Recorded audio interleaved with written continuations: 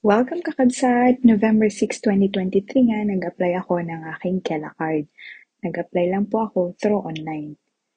Nilagay ko lang po sa search engine ang Kela at lumabas na po yung website kung saan ako mag apply At yun nga po, pumasok ako sa Kela website at dito makikita nyo may pagpipilian din po ng languages. So, nilagay ko po muna sa English.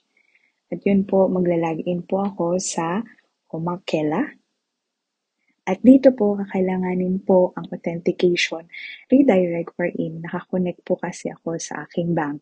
At after nyo pong makaredirect doon, automatic na po magpa-pop up yung information ninyo sa system. After which po, ayan po nakapasok na ako sa Omakela website kung saan mamimili ka dyan kung saan. Pinindot ko ang Kela Cortit at makikita nyo din po doon, magte-take ka ng application.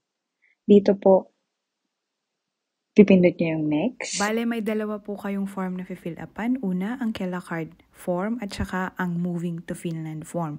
Need nyo pong fill upan yan at mai-save sa system. Ang next ko pong ginawa ay nag-send po ako ng message system ng aking mga attachment. Dito makikita nyo po, scroll down nyo lang po at doon nyo po i-click kung saan pwede kayong mag-send ng message sa kanila.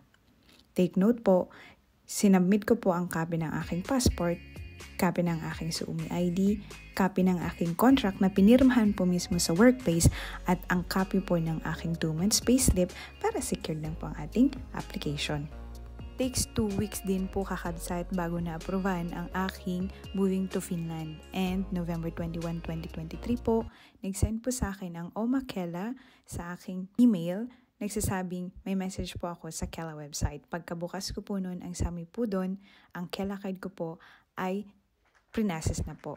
And by November 27 po, sa wakas, dumating po sa bahay.